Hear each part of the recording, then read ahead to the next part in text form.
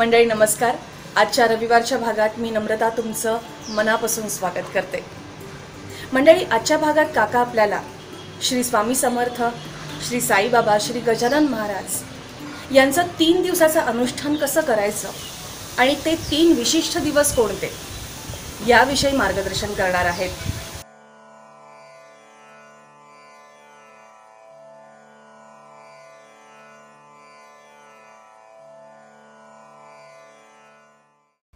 स्वामींच्या साधनेबद्दल पण लोक विचारतात की आम्हाला स्वामींची साधना अजून कुठल्या कुठल्या आहेत?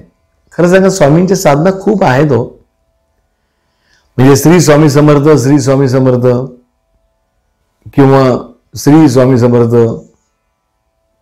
सद्गुरू स्वामी समर्थ किंवा श्री स्वामी समर्थ जय जय स्वामी समर्थ सद्गुरू स्वामी समर्थ जय जय स्वामी समर्थ महाराज श्री स्वामी समर्थ असं ते तो जप आहे.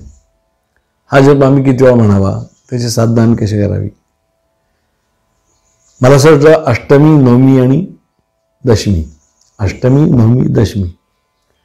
ह्या दिवशी मला असं वाटतं जास्तीत जास्त साधना स्वामींच्या गजानन महाराजांच्या किंवा साईबाबांच्या करतात.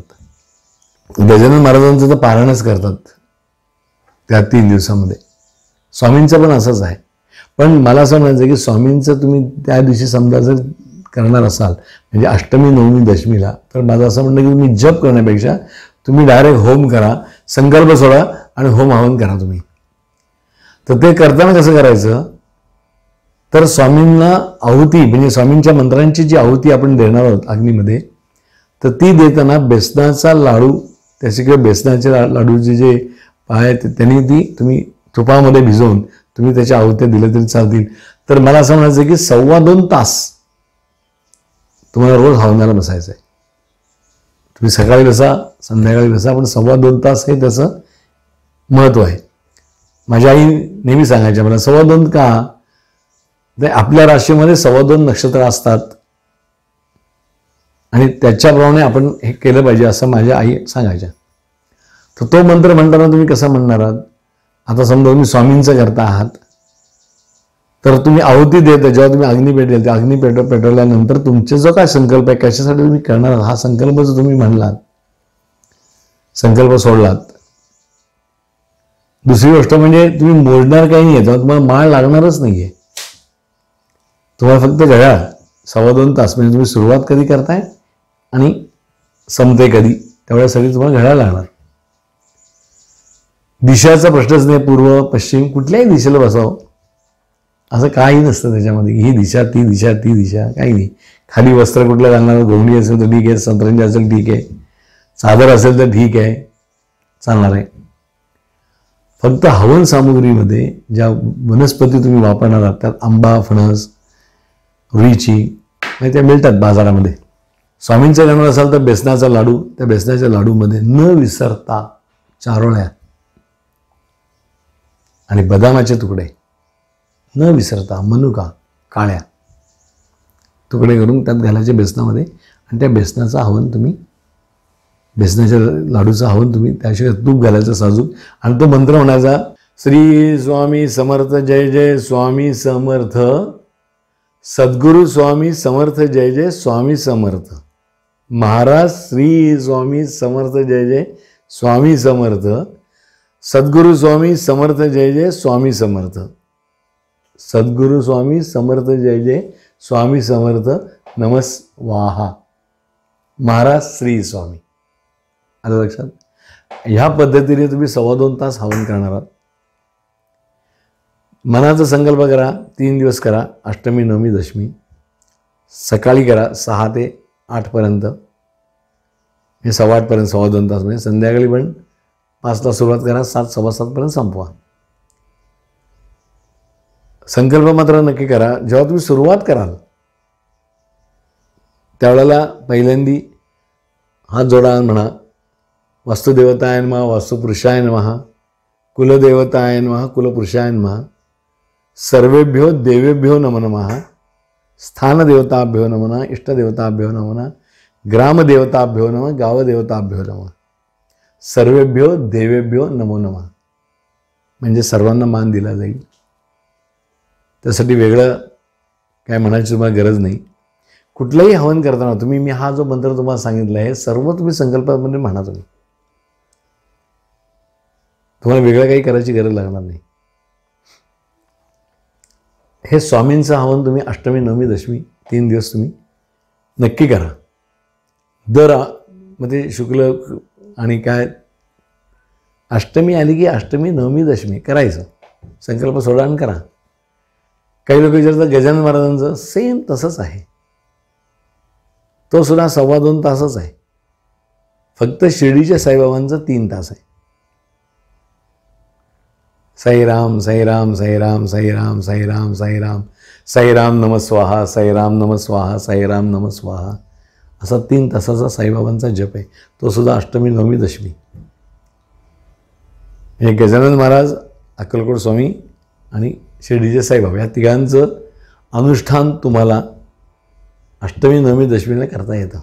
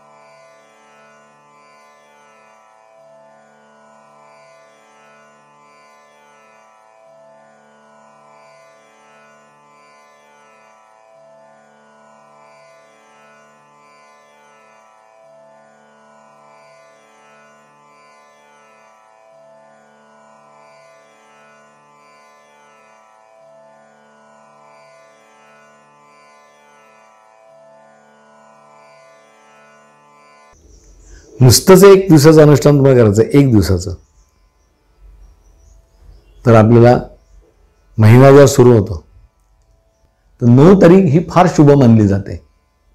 म्हणजे आमच्या नाथ संप्रदायात पण आणि स्वामी परिवारात पण नऊ तारीख ही खूप शुभ मानली जाते. त्या दिवशी लोक कॅलेंडर बघते की आजचा दिवस अशुभ आहे. नऊ हा दिवस नववा नवमी ही सगळ्यात चांगली. जशी अष्टमी तशी नवमी पण. पण नवमीला जर तुम्ही जास्तीत जास्त देवी देवी म्हणजे सर्व मंगल मांगल्य शिवे सर्वार्थ साधिके शरण्य त्र्यंबके गौरी नारायणी नमसुदे स्वाहा असं जर केलं आणि त्याला जर मनुकांचं हवन जर तुम्ही केलं काळ्या मनुका आहे त्या काळ्या मनुकांचं जर तुम्ही हवन केलं त्या दिवशी नवमीला तर सगळ्यात जास्त फायदा लक्ष्मीचा तुम्हाला मिळेल. ज्या लोकांवर अपत्य काही अनेक आलेले आहेत त्यांनी हे नवमीला दर नवमीला. तुम्ही जर हे हवन केलं सगळ्यात बेस्ट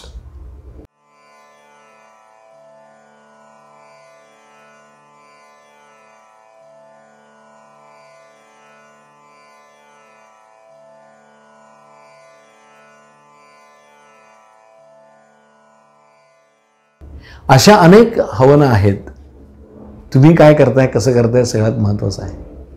मला असं वाटतं की अष्टमी नवमी आणि दशमीला मी स्वामींचं सांगितलं गजानन मला सांगितलं शिर्डीच्या साईबाबांचं पण सांगितलं. आणि हे सगळं माझ्या गुरूंनी मला शिकवलं आहे आणि मी केलं आहे त्याप्रमाणे सगळं तसंच केलं आहे आज खरं सांगायचं तर स्वामी कृपेने भरपूर सगळं काही आहे छान आहे. दैवत प्रसन्न झालं पाहिजे हो आपल्यावर. आपण काहीतरी अडलोय म्हणून देवाला काहीतरी करतोय तर देव पण आपल्यापेक्षा डबल लबाड आहे देव म्हणतो मतलबासाठी माझ्याकडे आलास तर तुला तसाच वाढवतो मी. मनापासून करा. खरंच आणलं असेल त्यालाही माहिती असेल की तुम्ही खरं आणलेला आहात हो. तुम्हाला त्रास होतो आहे तुम्ही मनापासून करा. मनापासून तुम्हाला सगळ्या गोष्टी मिळतील. याला सोळं ओळ काय नेसू काय करू काही नाही. तुम्ही शर्ट पॅन्ट आहे तुम्हाला शर्ट मिळाला पॅन्ट मिळाला तर बसा त्याच्यावर करा. माझं म्हणणं आहे हवन करा. ते सोळच पाहिजे मग ते धोतरच पाहिजे मग ती लुंगी घातली तर चालणार आहे का? हाफ पॅन्टवर बसलं तर चालणार आहे का? कशाला पाहिजे सगळ्या ह्या गोष्टी? आपल्याला ह्या गोष्टी काही नको आहेत. आपल्याला फक्त पाहिजे छानपैकी आपण संकल्प सोडल्यानंतर आपल्याला मिळणारं पुण्य. किंवा आपण ज्याच्यासाठी संकल्प सोडले ती गोष्ट आपली साध्य होण्यासाठी आपण हे सगळं करतो. तर मंडळी ह्या गोष्टी तुम्ही नक्की करा. अष्टमी नवमी आणि दशमी. नवमीचं पण एक मी वेगळं सांगितलं आहे देवीचं कोल्हापूरच्या देवीचं जे सांगितलं आहे मी सर्व मंगल मांगल्ये तेही करा तुम्ही. तुम्हाला खूप फायद्याचं पडेल. स्वामींचं जे सांगितलं आहे ते नक्की करा. श्री स्वामी समर्थ जय जय स्वामी समर्थ सद्गुरू स्वामी समर्थ जय जय स्वामी समर्थ नमस्वाहा महाराज श्री स्वामी. खूप छान वाटेल. खरा सव्वा दोन तास. आणि बघा स्वामी गजानन महाराज शिर्डीचे साईबाबा किंवा ह्या सगळ्या देव्या तुमच्यावर कशी कृपा करतात ते. तर चला भेटूया आपण एकदा पुढच्या एका वेगळ्या विषयावरती. तोपर्यंत मंडळी नमस्कार. मंडळी काकांनी सांगितलेल्या या सुंदर अनुष्ठानासाठी तुम्हाला खूप खूप शुभेच्छा. मंडळी एपिसोडच्या शेवटी एक महत्त्वाचं निवेदन. आपल्या मठामध्ये सेवेकर्यांची आवश्यकता आहे. सेवेकर्याची किमान वयोमर्यादा आहे पन्नास वर्ष. मठामध्ये सेवेकरी झाडांची निगा राखू शकतात. अन्नछत्रामध्ये स्वयंपाकी म्हणून मदत करू शकतात. सेवेकर्याची जबाबदारी ही मठातर्फे घेतली जाईल आणि त्यांना मासिक वेतनसुद्धा दिलं जाईल. या सुवर्णसंधीचा नक्कीच लाभ घ्यावा. मंडळी भेटूया पुढल्या एपिसोडमध्ये पूज्य जोशी काकांसोबत एक नवीन विषय घेऊन. स्वतःची काळजी घ्या. स्वामी ओम. स्वामी समर्थ जय जय स्वामी समर्थ. सद्गुरु स्वामी समर्थ जय जय स्वामी समर्थ. महाराज श्री स्वामी समर्थ जय जय स्वामी समर्थ. सद्गुरु स्वामी समर्थ जय जय स्वामी समर्थ। श्री स्वामी समर्थ जय जय स्वामी समर्थ। सद्गुरु स्वामी समर्थ जय जय स्वामी समर्थ। महाराज श्री स्वामी समर्थ जय जय स्वामी समर्थ। सद्गुरु स्वामी समर्थ जय जय स्वामी समर्थ अनंत कोटि ब्रह्मांड नायक राजाधिराज योगिराज, अक्कलकोट निवासी, सद्गुरु श्री स्वामी समर्थ महाराज की जय।